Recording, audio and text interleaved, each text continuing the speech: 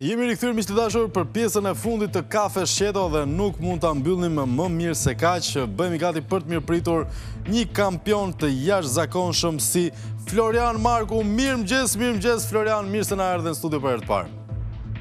Mëngjesi, mëngjesi. Si je mo gjigant?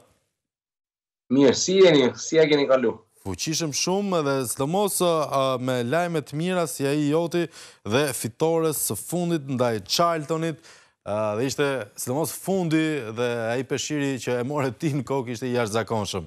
Tani ajo ishte moment aksidental por nga ato momentet historike televizive. E vërtetë, e vërtetë. E bëra komplet pa pritur, të vërtetën s'doja t'i jepsha më shumë goditje Rylanit se e pashë në fytyrë ishte ishte prishur komplet. E bravo, edhe pashë edhe pashë peshqirin merre komplet, domethënë pa pa e menduar, edhe e kapa.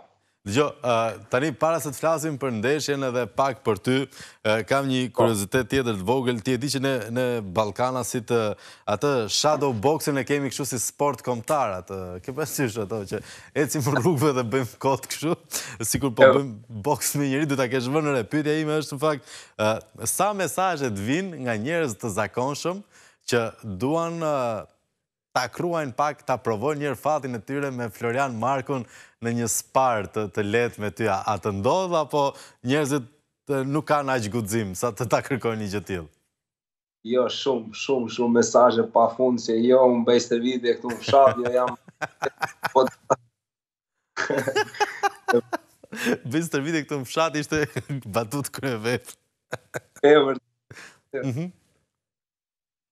Po ke ke menduar, ke menduar ndonjëherë ta pranosh nga këto sfidat, ndonjërin që t'i ka provokuar nervat mjaftueshëm? Kanë ardhur, i kam thënë një dy tre vetave që më janë dukur si boksiera që kanë bërë, po s'kanë ardhur në palestër, i kam thënë hajde të bëjmë sparring. Mhm. A e kuptoj, e kuptoj, dhe më vjen mirë. Ndërkohë, rikthehemi te karriera jote në këto momente, për ata që nuk e ndjekin boksin, po sigurisht kanë dëgjuar për fitoren tënde, se ka qenë lajm kryesor dhe sigurisht lajm i jashtëzakonshëm sportiv. Aktualisht, cila është renditja jote dhe aspiratat që ngjall kjo fitore e fundit?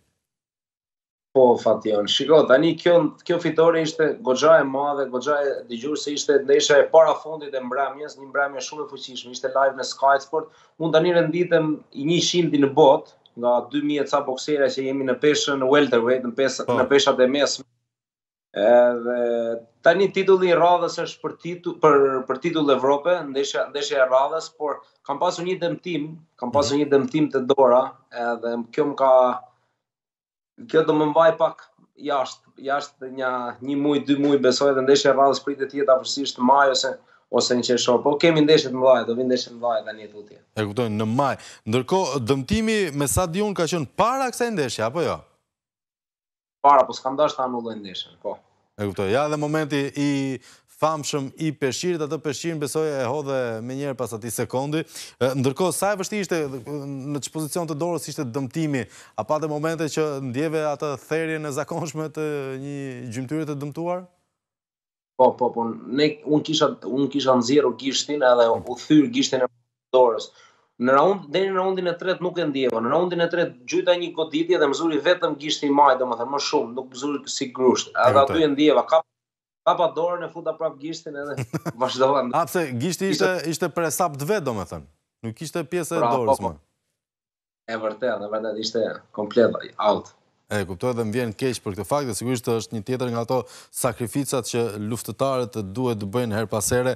Ndërkohë meqë ra fjala te luftëtarët dhe sakrificat, zoti Charlton kam përshtypjen ishte është ende i shtruar në spital apo ka dalë pas verifikimeve nga mjekët?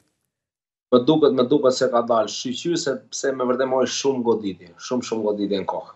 E kuptoj. Ndërkohë ishte pjesë e strategjisë tënde, të ishe aq agresiv ndaj një kundërshtari që kishte një diferencë fizike të lehtë me ty.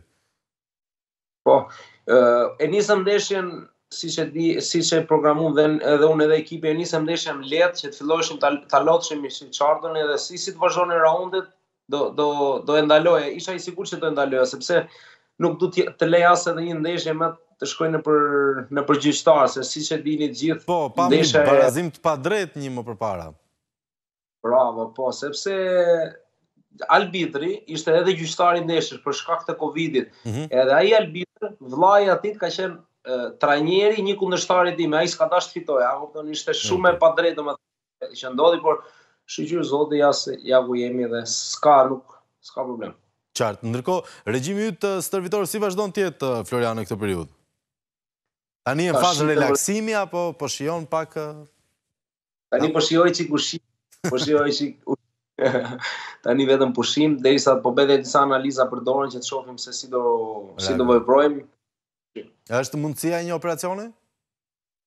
Besoj se po, besoj se po. E kuptoj. Ndërkohë, meqë ra fjala te këto abuzimet e pushimit të shumëpritur, cili është ai ushqimi tradicional shqiptar që para ndeshjeve nuk e përdor e shmang pas ndeshjeve i rikthehesh egërsisht? Se po të shohim fotot e tua, kam përshtypjen nivelli i yndyrës që ke në muskulaturë duhet të jetë shumë i ulët. Po, po, po, mu pëlqejnë fasulet normalisht me mish shumë, po, gjëja që mezi pres sa të marojë ndeshja janë krepat me Nutella, siç nuk e di, palaçinka si e thoni nuk, po, nuk e di. Po, krepe, të dyja quhen, të dyja quhen. Bravo, e, mezi pres ndeshja të marojë që të haj çdo ëmbëlsirë, ajo është e preferuar. Domethënë, këtë, këtë tipi fillove ta godasësh më fort nga raundi 4, se po vinte ora për krepa me Nutella. E vërtetë, e vërtetë. Ndërkohë, mund të themi, cili është, le të themi, ajo sakrifica më e madhe përveç këtyre që bën para ndeshjeve. Cili është diçka që sado je profesionist e të gjitha me radhë prapë kur je i detyruar ta bësh apo një ushtrim i caktuar po flas këtu edhe për ata që i frekuentojnë disi palestrat, jo vetëm ata që bëjnë boks. E ke ti një ushtrim që ta shpif sa herë që duhet ta bësh? Besoj zgjimi i mëngjesit, kurse vrapin e mëngjesit zakonisht e bëjmë nga ora katër, katër e gjysmë, se kemi prapë stërvitjen tjetër nga ora dhjetë edhe është. Katër e gjysmë. Besoj se Po, mua më pëlqen më shumë sparring, sparring që themi kemi po. kontakt me njëri tjetrin, po domethënë ajo është ë e preferuara kurse vrapi në orët e, e mëngjesit është që e urrej, po duhet bërë sepse Për të arritur aty duhet bërë shumë shumë vrap. E vërtetë është edhe ai vrapi Mike Tyson edhe Muhammed Ali kam përshtypjen ka thënë që më mirë të të vuaj në mëngjes edhe të jetoj pastaj si kampion ndërkohë që kundërshtari fle. Për t'iu rikthyer pak çështjes së mesazheve Florian se sigurisht duhet ta përziejmë pak edhe me showbiz tani ti je një personazh showbizi si të bën të ndihesh ky fakt njëherë? Që nuk je më thjesht po. te kategoria e sportistëve, po ke hyrë te personazhet e showbizit, je personazh i ndjekur në Instagram, siç është trendi edhe i boksierëve tanimë.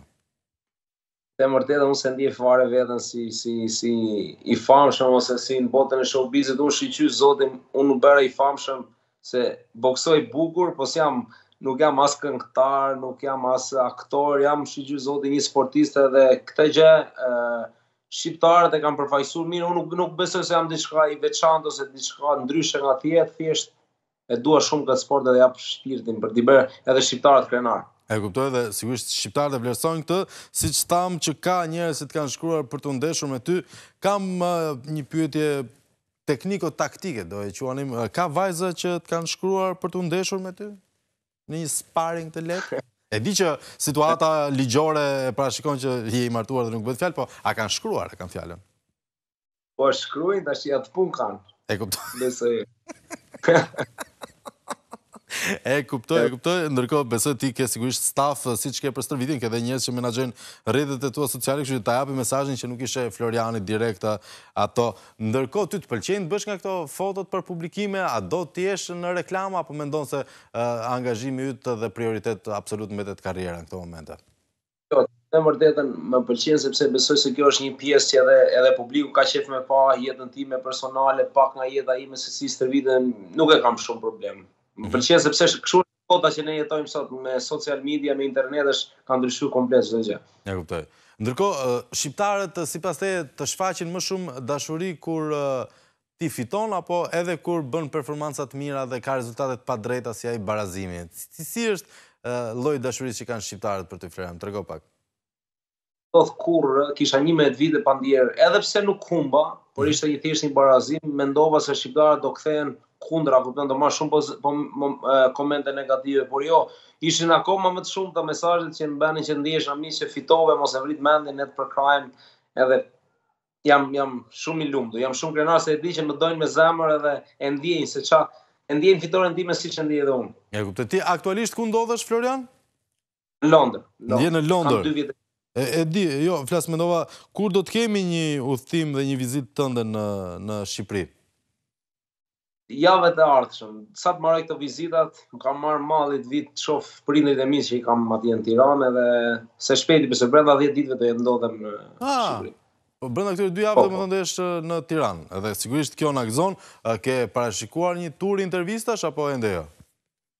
Ende jo. Ende jo. jo dhe mos e parashiko, sigurisht se do do të tentojmë edhe një sparring ekskluziv. Është e vështirë ta mësosh boksin për ne që e kemi parë vetëm nga televizori që jemi fansa të sportit? Shumë e vështirë. Jo, nuk është e vështirë që ta mësosh boksin, po të arrish të performosh ose të bësh sparring, bësh një ndeshje, është besoj shumë gjë e vështirë. Është gjëja më e vështirë, se duhet të koordinosh këmbët, duart, me psikologjinë me çdo gjë është komplet po. E kuptoj se. Sa shumë është. Këta çunat te regjia luajnë me njëri-tjetrin kështu në momente publiciteti dhe ju duket vetja dikujt uh, Floyd Mayweather, dikujt Mike Tyson. Po. Bëjnë ca lojëra të bëjnë ca lojëra të çuditshme Florian, kështu që të presim absolutisht në studio që të na japësh ca leksione. Ndërkohë do doja të dija nga ty disa emra të po. tjerë. Sigurisht le të shpërndajmë pak dashuri edhe Për sportistë të tjerë, cilët mendon ti se janë disa emra nga boksierët shqiptarë që publiku duhet t'i njohë, duhet t'i ndjekë edhe në rrjetet sociale, edhe në ndeshjet e tyre?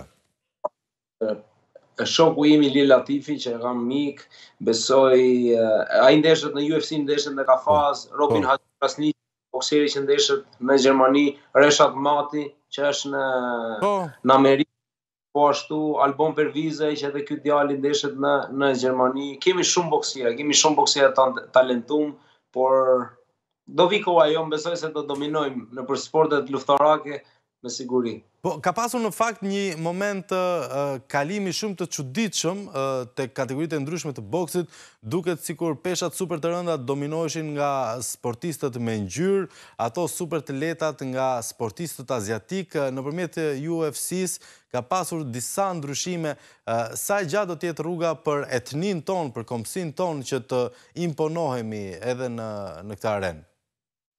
Besoj brenda një viti çdo gjë do ndryshojë. Unë kam titullin, ndeshja e radhës është për titull Evrope, e pastaj dash Zoti ndeshem për titull Bote dhe të vij ta mbroj titullin në Shqipëri. Ajo është ëndrra ime që po luftoj që që fëmijë. Ne këtu po flasim për sigurisht kompeticione zyrtare. Sa e vështirë mund të jetë një sipërmarrje e tillë me hapësirat që ofron Shqipëria? Se di, s'ka të bëjë me Shqipërinë, sepse unë jam Shqipëria si Shqipëri mos më ka as na ka financuar, s'po të lidh asgjë me me institucionet. Po. Po, po, po, me institucionet.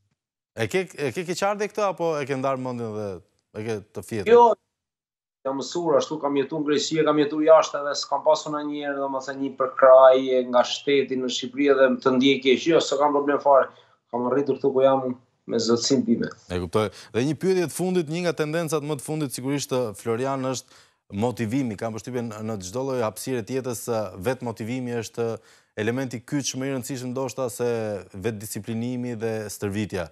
A, a përdor ti teknika të tilla mendore ndaj vetes për për ta karikuar veten, për të tejkaluar vështirësitë se jo çdo ditë jemi në të njëjtin humor për t'u stërvitur apo jo çdo ditë jemi gati për të për të rrahur dikë derisa të thyen gishtat e kockat e fytyrës, siç kemi parë të ndodhë. Motivimi im është sepse ky është një sport shumë i vështirë, por un kam vetëm një synim. Çdo gjë që si kur e nis ditën në mëngjes, çfarëdo gjë që bëj për mua është synimi stërvitja, të stërvitem, mbaj mendjen e qetë sepse stërvitja ta heq stresin, të heq çdo gjë. Njerëzit nuk e kuptojnë, por është shumë shumë shumë e rëndësishme për trupin, edhe për edhe për trurin. Edhe unë e mbaj trupin në formë, sepse duhet duhet ta arrij ta arrij qëllimin. Kjo është e vetmja mënyrë që unë e shtyj veten të jem më mirë për të qenë sa më në formë. E kuptoj dhe këtë e vlerësojmë. Florian, unë të falenderoj shumë dhe ë uh, theksoj që të presim në Tiranë. E t'uroj gjithë të mirat. Pa, pa mirupafshim. Faleminderit kampion, e përshëndesim Florian Markun, miq të dashur,